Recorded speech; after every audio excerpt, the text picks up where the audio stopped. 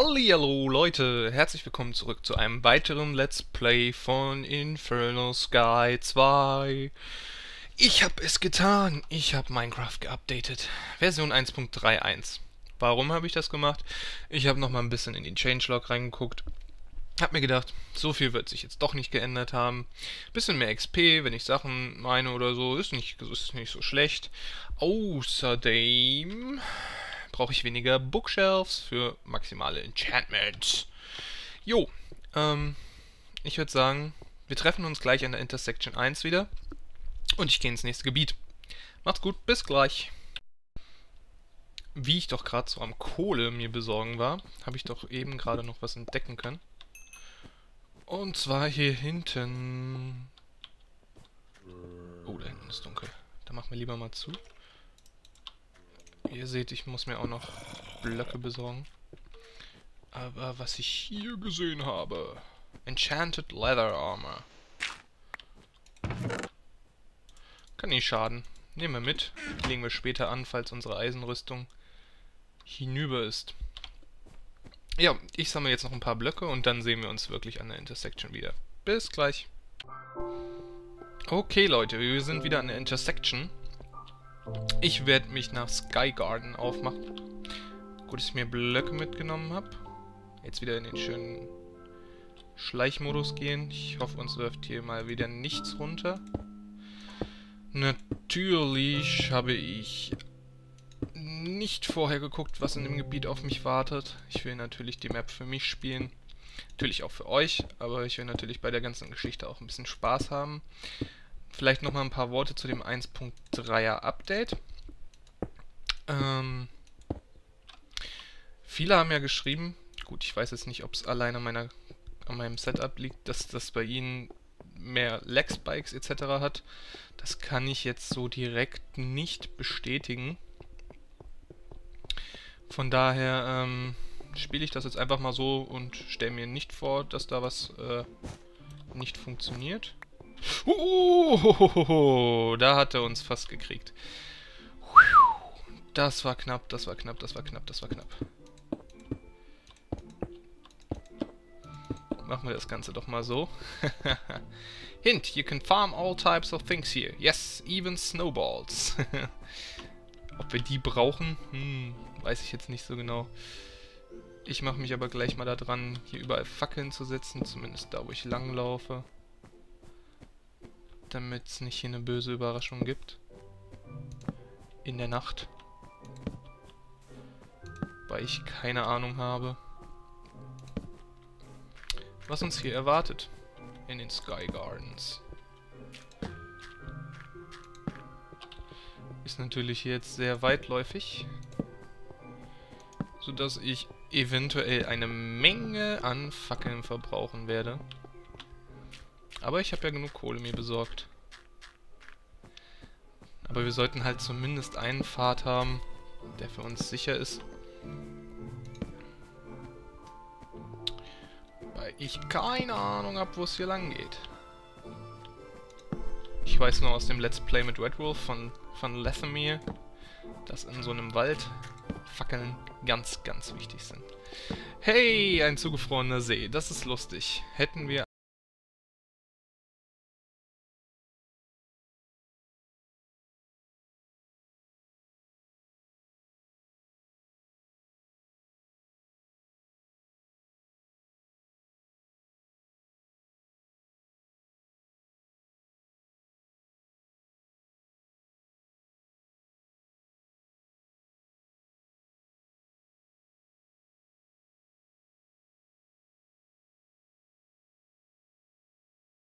ja alle. Ich nehme mal ein bisschen Glowstone.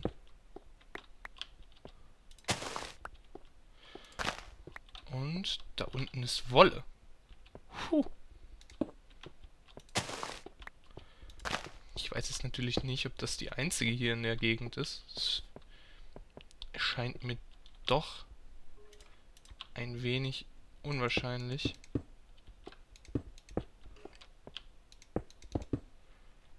Wir werden es sehen. Oh, ein Skelett. Hallo. Was mich natürlich jetzt interessiert, sind das hier Nein, sind keine Silverfish-Blöcke. Bauen wir uns hier mal so eine kleine Sicherheit hin. Oh! Mehr Wolle. Und weniger Blöcke, die ich habe. Das ging ja äh, jetzt schnell. Ich wette eigentlich, dass ich hier noch irgendwo reinfall. Eigentlich, wie gesagt. Interesting. Orange Wool. Get. so, interessantere Frage. Wie kommen wir jetzt dahin? Ich würde gerne mal gucken, es hier irgendwo noch weitergeht. Weil, wenn ich mir vorne Sand besorge, dann könnte ich mich eventuell... Ah, ist ein bisschen weit weg. Ich hätte halt überlegt, von oben drauf. Aber, aber... Eventuell können wir das sogar machen. Dafür bräuchte ich nur wesentlich mehr Sand, den ich mir von oben holen kann, so wie es aussieht. Hier machen wir nochmal ein bisschen Licht. Weil ohne Licht gefällt mir nicht. Oder wir gucken einfach nochmal schnell, wo es hier oben weitergeht.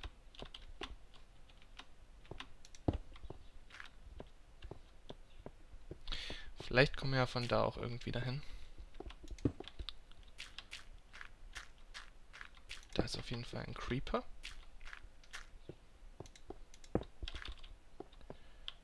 Mit dem wollen wir doch mal ein bisschen spielen. Ja, ah, ich habe übrigens zwei Fire Aspect Schwerter bekommen. Ich doch mal gleich an ihm ausprobieren. Hallo. Why you know? Go. Oh. Ja, ich merke jetzt den Unterschied. Das hier ist jetzt... Ach ja, genau. Da drauf wollte ich hinaus. Ähm... Hier geht's nach unten der Singleplayer und der Multiplayer, die sind jetzt gemerged. Das heißt, ähm, die Bugs, die früher im Multiplayer waren, die gibt es jetzt auch im Singleplayer. Beziehungsweise wurden jetzt auch schon eine Menge der Bugs gefixt. Also Mojang saß da auch nicht untätig rum, hat gemerkt, sein Spiel ist im Multiplayer nicht so schön, aber diese gemeinsame Codebasis für den Multiplayer und den Singleplayer hat natürlich den Vorteil, dass sie nicht immer alles doppelt und dreifach implementieren müssen, weil bisher hatten sie es so. Ist natürlich nicht im Sinne des Erfinders, sich so eine Mühe zu machen. Es hat natürlich darunter, also es heißt hier eigentlich nur Mühe machen, darunter hat natürlich auch die, die Güte des Spiels gelitten, ganz klar wenn ich eine uneinheitliche Basis habe, auf der ich programmiere, ja, es kann in der Regel eigentlich nicht gut gehen. Ähm, ich leuchte die Sachen hier jetzt alle nochmal ein bisschen aus. Und werde mir dann vermutlich ein bisschen Sand besorgen. So wie es aussieht. Hab zwar ein bisschen Schiss da runter zu segeln, aber naja, wir werden es sehen.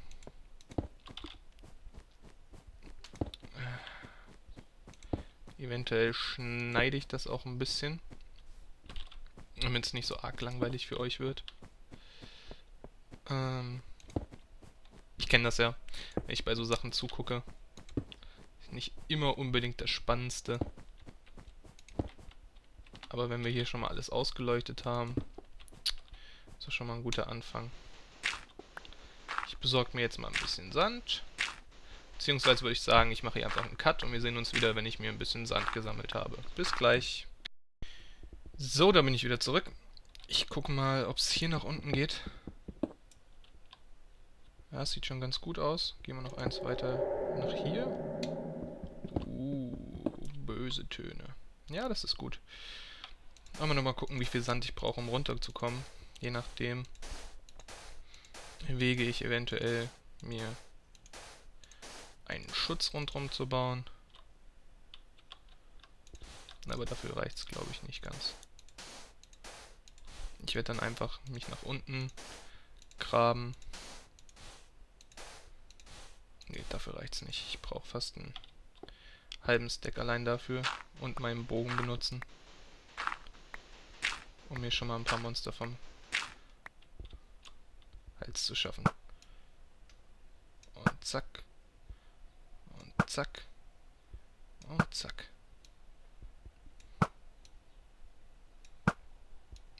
Die Skelette sind eigentlich die schlimmsten. Die können mich nämlich runterschießen. Huh, da ist ja Party.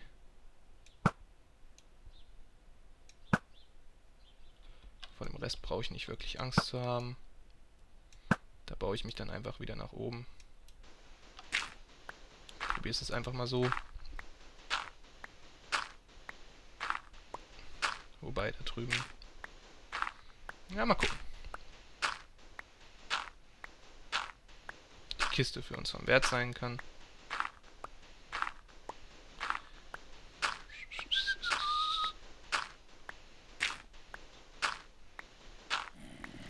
Und wir graben uns rein.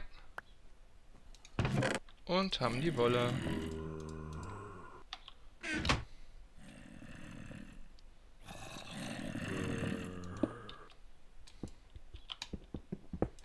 Was mich wundert ist, dass die Spinnen uns nicht attackieren. Hm. Ich frage mich natürlich, was das hier alles für Sachen sind. Jetzt kommen sie. Kommt die hier hoch? Hm, hm, hm, hm. Können natürlich probieren. Ah, es sind viele. Es sind viele. Und das war ja super schlau. Und das hat auch nichts gebracht. Hopp, da ist es. Ich weiß nicht, ob ich da runter will. Eventuell, ich habe noch eine Idee.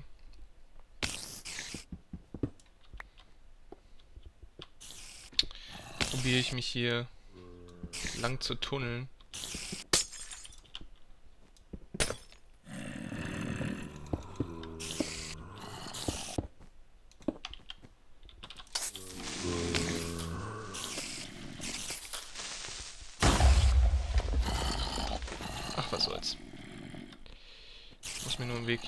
Schaffen. Uh, das geht auf die Nase. Oh! Nein, das ist keine gute Idee bei so vielen Skeletten. Nein. Und... Uh! Schnell hier zu. Okay. Das ist abgeschrieben. Hm, da gehe ich nicht mehr hin. Nein, nein, nein. Außer ich grab mich unten. Muss ich natürlich anpeilen, wo das ist.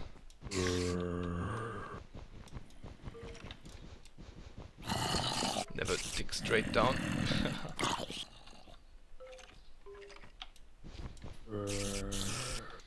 okay. Probieren wir es mal.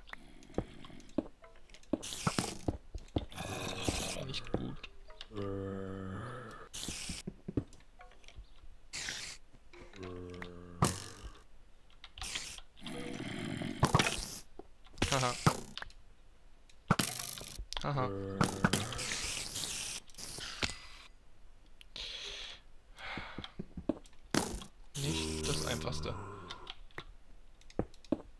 Ich bin natürlich so gierig und will... Oh, oh, oh, hier hat es schon den Boden weggesprengt. Hier müssen wir jetzt extrem vorsichtig sein.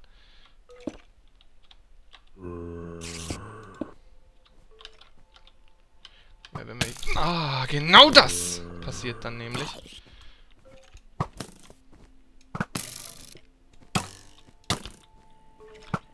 Die stürzen sich in den Tod, nur um uns zu kriegen.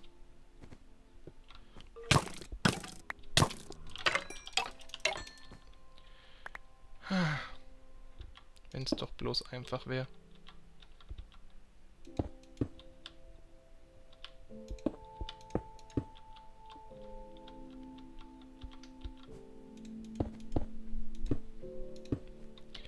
Der Vorteil ist natürlich, wenn wir jetzt einmal in der Nähe sind, haben wir keine Blöcke mehr.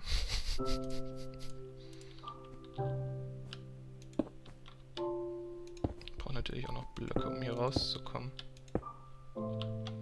Deshalb nehme ich jetzt mein Holz.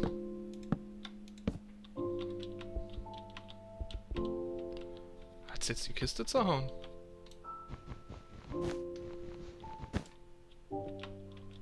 Na toll. Also da waren anscheinend viele Potions drin.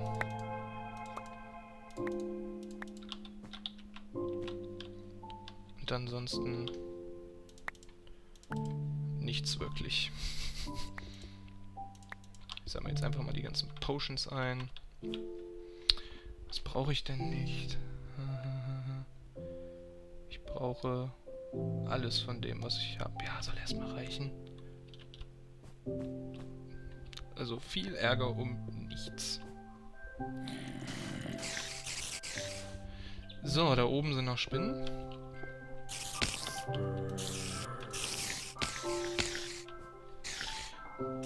Loswerden müssen. Aber da wir ja hier so cool von unten schlagen können.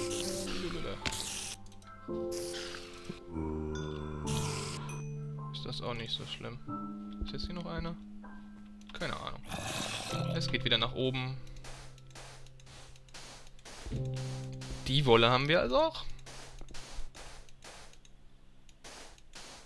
Ich habe mich jetzt nicht, warum ich da unten nicht ausgeleuchtet habe, ich habe mich jetzt nicht getraut, ähm, auf dem Schnee eine Fackel zu setzen, weil ich nicht haargenau so damit vertraut bin, äh, was dann mit dem Schnee innerhalb kürzester Zeit passiert. Aus dem Grund habe ich das nicht gemacht. Nochmal kurz gucken auf die Uhr, wie spät das ist. Ja, ich würde sagen, wir laufen jetzt einfach schnell noch zum Victory Monument zurück und platzieren mal die neuen Wollen, die wir gekriegt haben. Sind ja jetzt immerhin schon ein paar mehr. Es wird doch wieder Nacht. Ich würde sagen, wir sehen uns am Victory Monument. Nicht wahr? Also, bis denn. So, auf dem Rückweg zum Victory Monument. Und ja, ich weiß, ich bewege mich immer auf sehr, sehr schmalen Abhängen, aber mh, hm, ich habe ja hier größtenteils die Monster beseitigt, zumindest rede ich mir das ein. Nein, Spaß beiseite. Ähm, ich will noch mal schnell ein paar Sachen in die Kisten hauen. Ich brauche auch bald mal eine andere Kiste. Was haben wir denn jetzt eigentlich platziert? Wir haben jetzt hier zwei Wollen bekommen. Ach stimmt. Und noch die von letztes Mal. Das sollte so doch hinhauen. Und noch was zu essen schnell. Ich muss mir auch bald nochmal wieder Pilze farmen. Aber jetzt erstmal. Wo haben wir sie denn? Orange Wool platziert. Das müsste Light Blue sein. Light Blue Wool platziert. Und das ist Purple. Wo haben wir Purple? Light Gray Purple Wool platziert. Das lässt uns mit dem Diamantblock, mit der schwarzen, roten, grünen, braunen, blauen, Cyan, äh, hellgrau, grau, pink und magenta zurück. Das sind 1, 2, 3, 4, 5, 6, 7, 8, 9, 10 Wollen und ein Diamantblock. Das heißt, wir haben schon 6 Wollen geholt, haben da fast die Halbzeit erreicht und der Diamantblock erfahrungsgemäß halt relativ spielt im Spiel, weil er will einem ja auch nicht zu Anfang direkt die, die Diamantrüstung geben. Aber wenn wir die, uns die Diamantrüstung geholt haben, ich habe jetzt leider hier eine ziemlich ledierte äh, Eisenrüstung, aber ja noch die Enchanted Leather Tunic und so weiter. Ähm, wenn er die einem dann gibt, dann wird es auch äh, ein bisschen einfacher, weil, weil äh, die Monster nicht mehr so viel Schaden machen. Ja. Also verabschiede ich mich von euch mit dem 1.3 Update und wünsche euch noch viel Spaß und ich freue mich auf weitere Folgen mit euch. Macht's gut!